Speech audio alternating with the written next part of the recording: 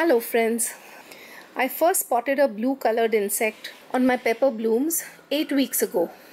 It kept moving around so quickly I was unable to get good footage on the elusive bee until I struck gold today.